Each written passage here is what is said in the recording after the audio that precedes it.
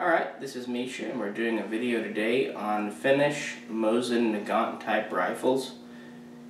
Now there are a bunch of variations of these, so we're only going to show you three, three that I have on hand, uh, three of the major ones, but uh, there's a couple of really excellent websites out there that have all kinds of neat production data, numbers, that kind of thing, as far as the history, and these are fascinating rifles for the collector. And it's, it's a Mosin, so let's get in. Up first is what the Finnish military called an M91. Now, Finland was basically part of Russia, part of the Russian Empire, until it fought for independence in uh, 1917 and became independent in 1918. So once they got the Russians out and had complete autonomy, they had a ton of Mosins on hand. You know, leftovers from the, the Russians and, and whatnot. They also had a bunch of Mausers and other random stuff from World War One. What they did is they, they traded off all their Mausers, at least as many as they could, throughout the 1920s for yet more Mosins, getting Mosins from countries that wanted to use the Mauser in Eastern Europe and had tons of Mosins left over from World War II. And so that they swapped Mausers for Mosins in addition to all the Mosins that they had.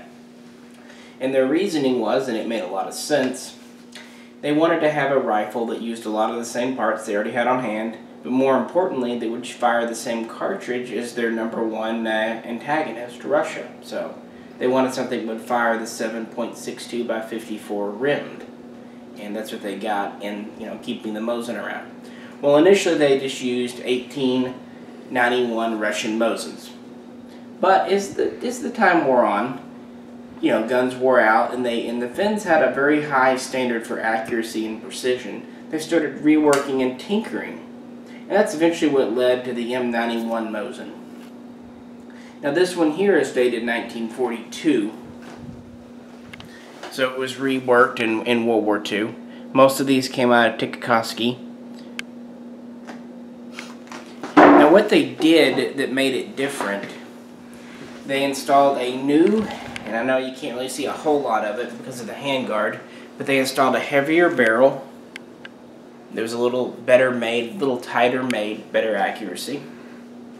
To do that, they also had to redo the front part of the wooden stock. And you'll see a splice.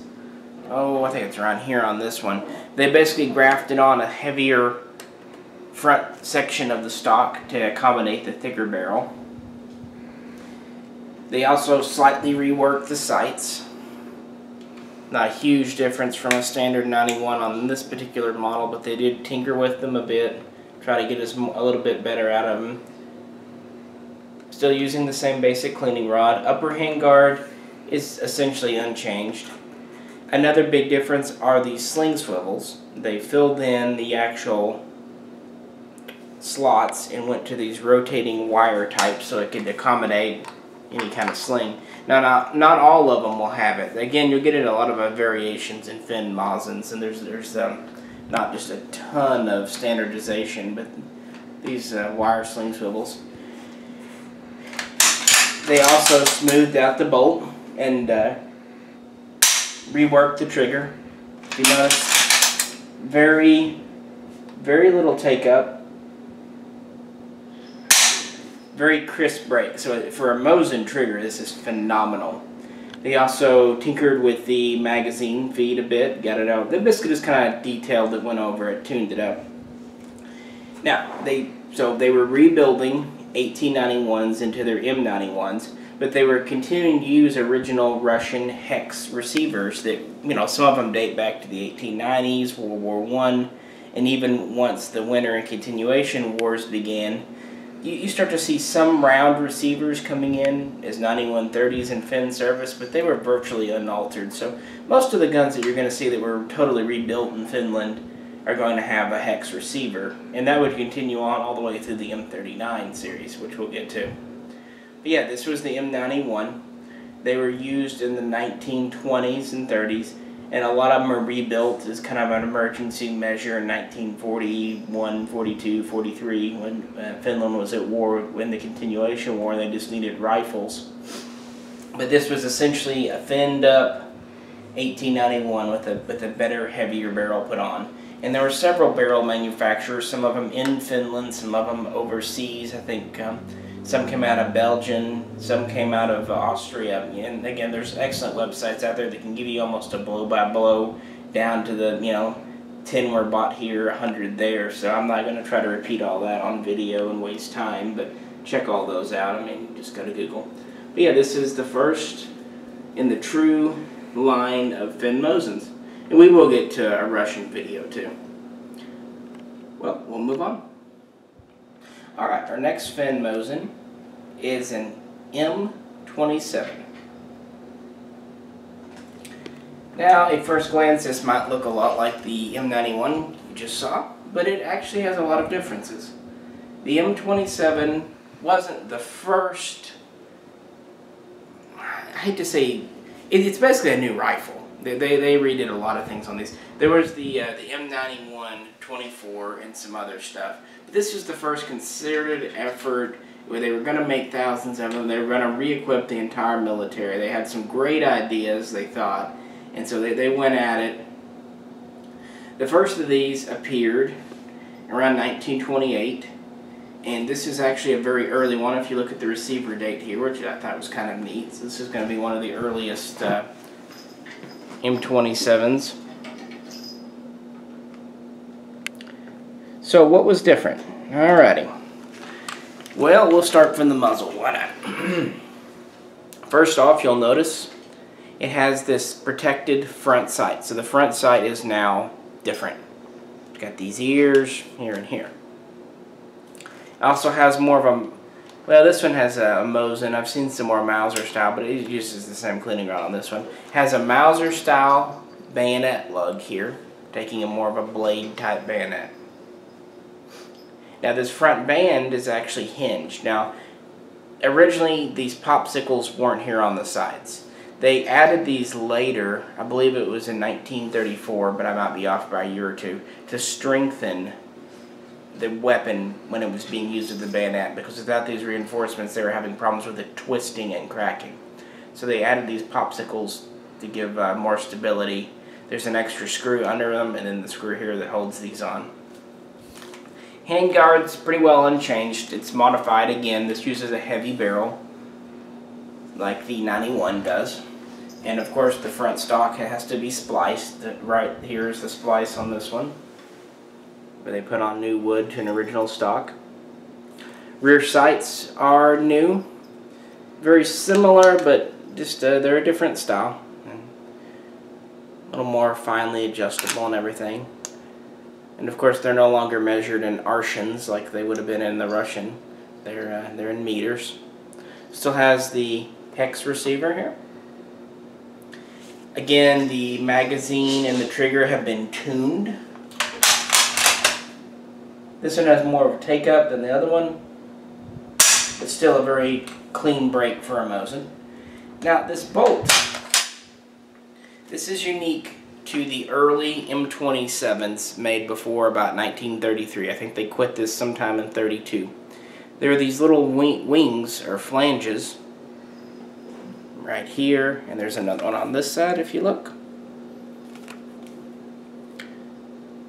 And these go into corresponding slots in the receiver.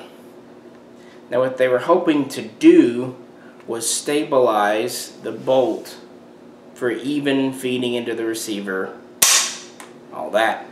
What they actually ended up creating was a great place for dirt and grime and snow and everything else to collect and when it got collected in the receiver that couldn't go forward. So a lot of soldiers replaced these bolts with with ones that didn't have the wings on them.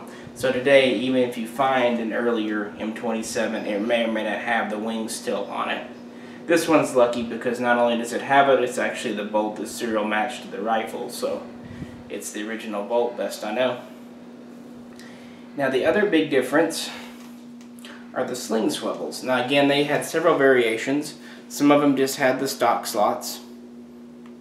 But a lot of them have these swivels here on the back that rotate 360 degrees. Now they had problems with sometimes the slings binding, so on some models, and they're pretty, not common, they put a side swivel on too that's more fixed. It goes through this the the old stock slot and you can see the corresponding bar there that it goes through. I've seen these referred to as the Ski Trooper. I think that's a very informal name, but it, it works just to differentiate them from the other ones. So they've added this swivel up here to help keep the lower one from binding since it can't move. So I, I thought that was kind of a neat feature of this rifle having the both swivels on it.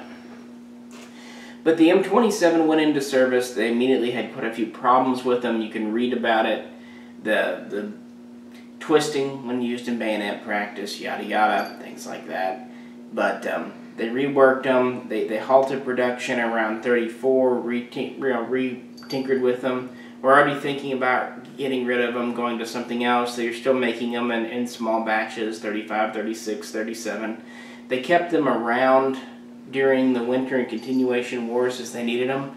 I mean, this was the standard issue frontline weapon of the Finnish Defense Forces. But uh, people, they weren't real happy with them, and so they a lot of them got used up and then kind of discarded. And you know, they were they they were well used after two wars with Russia. So when you find them today, most of them are in, uh, you know, yeah, well well used condition. But um, this is the Finnish M27. There was also a carbine version which is incredibly rare, and I do not have, and very few people do. But if you see one, it's definitely a unique piece too. Well, we'll move on. And for our final Finn Mosin, we have probably the one that most of you are familiar with. This is an M39. This particular one isn't anything special. I, I picked it up years ago at a friend's shop and just, I've thought about replacing it with different ones, but it, it works well. it's in good shape, and uh, yeah, kind of like it. But this one was made by uh, Sako in 1944. The uh, M39 is kind of the final version of the Mosin adopted. Obviously, it was adopted in 1939 these started to just trickle into service when the Winter War began, but mostly in the Winter War you're still seeing older M91s and M27s and other variants. By the continuation war, these were becoming more common. So what is this? Well, it is a short rifle version. The M91 would have been a full rifle. The M27 you just saw is actually just a smidge shorter, maybe by two, three inches. Not, not really a short rifle, still has a barrel well over 25 inches. This one here is just right about uh, 25. Still a heavy barrel, they're, they're, they're liking that. Still have the protected front sight, like on the M27. A Little bit different styling to the protector, but still the same thing. Pretty wide front sight blade. Still has the hinged uh, front barrel band with a Mauser style bayonet lug. Now they're using a Mauser style cleaning rod too with the longer head on it if you see. They've gone away with the popsicles. They've been able to get things stronger. This is a very heavy duty front stock. Still spliced down here. Heavier handguard. It has dual sling swivels, side and bottom.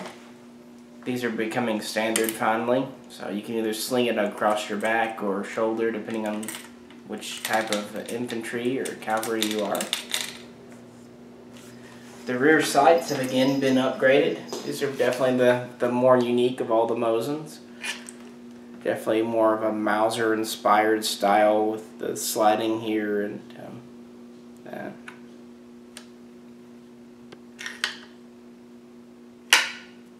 Still built on a hex receiver. Lord knows when this one was originally made.